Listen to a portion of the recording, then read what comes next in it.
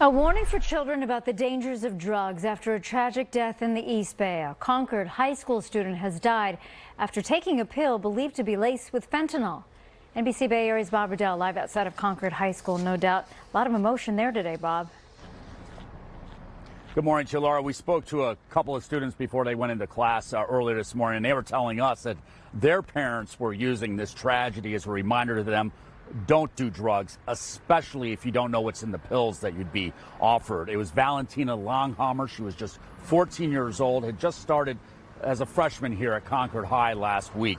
Uh, her mom spoke to us last night at a memorial here uh, on campus for her daughter. She tells us that this past Friday night, Valentina texted her friends that some kids at school had given her a pill. She was wondering if she should take it. Her mom tells us she believes her daughter was looking for something to make her relax. The deadly pill may have looked like this. This is according to a photo given uh, to us by police. Valentina took that pill and died from possible fentanyl poisoning. Her father found Valentina's body in her room Saturday morning when he tried to wake her up. The real truth is you're destroying the whole life for a person. I'm 52. I'm going to take this forever. The kids need to know what is the reality for this. The, the dangerous to take the pills, to take the medicine that they don't know what it is.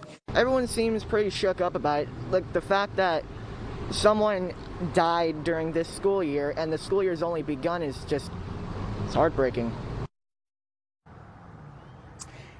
In Santa Clara County, the district attorney down there is warning about an extremely toxic batch of fentanyl on the streets of San Jose. Fentanyl, if you're not aware, it's an opioid, it's a painkiller like morphine, but much, much more potent than morphine. Seven homeless people have died within the past three weeks from taking methamphetamine containing fentanyl. Five more people throughout the rest of the county, including a juvenile in Morgan Hill, have also died most of those deaths happening in July and August. And back here live in Contra Costa County, Concord High School says they would have grief counselors available today for any students, staff who need help to cope with Valentina's death. And the Concord police says they are also investigating what happened.